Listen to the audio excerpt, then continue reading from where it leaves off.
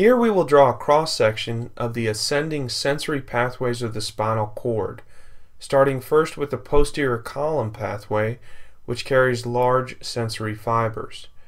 Begin with a spinal cord cross-section that includes the gray matter horns, central canal, and posterior median septum. Introduce the posterior intermediate septum, which divides the posterior funiculus into medial and lateral segments. Label the medial segment as the gracile fasciculus and the lateral segment as the cuneate fasciculus. Write thoracic level 6 over the posterior intermediate septum to indicate that the gracile fasciculus carries large fiber sensory information from the lower body, T6 and below, and the cuneate fasciculus carries sensory information from the upper body, T7 and above.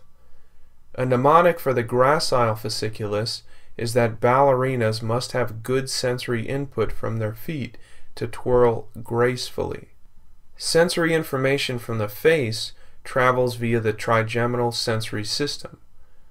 The gracile and cuneate fasciculi are jointly referred to as the posterior column pathways because of their location in the posterior column of the spinal cord. They comprise large diameter, heavily myelinated white matter axon bundles which carry vibration, two-point discrimination, and joint position sensory information.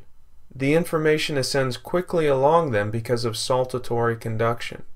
In terms of clinical syndromes that involve the posterior columns, neurosyphilis can cause transverse myelitis, which is involvement of an entire cross-section of the spinal cord, Brown-Séquard syndrome, which is involvement of one half of the spinal cord, or tabes dorsalis, which is involvement of the posterior columns and dorsal root ganglion only. In vitamin B12 deficiency, the posterior columns are affected along with the lateral columns, which gives it the name subacute combined degeneration. Now label the long, narrow anterolateral system in the anterior funiculus. The anterolateral system comprises small diameter sensory pathways. They carry non-discriminative touch, pain, and thermal sensory information. These fibers have either very thin amounts of myelin or no myelin at all, so action potentials ascend these axons slowly. These small fiber nerves originate within both encapsulated and free nerve endings in the periphery. Anterior spinal artery ischemia affects the anterolateral system fibers but not the posterior column fibers because it affects only the anterior two-thirds of the cord. Now label the somatotopic organization of the anterolateral system. The arms are medial and the legs are lateral which is the same as the somatotopic organization as the descending corticospinal tracts. It is important to label the ventral commissure between the anterior horns.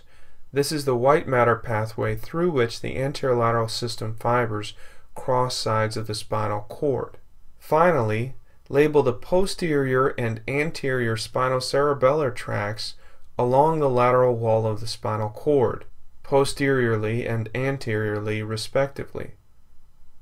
These tracts carry large sensory fibers to the cerebellum.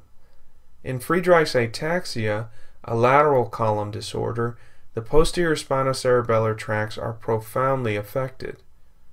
This concludes our drawing of the ascending tracts of the spinal cord.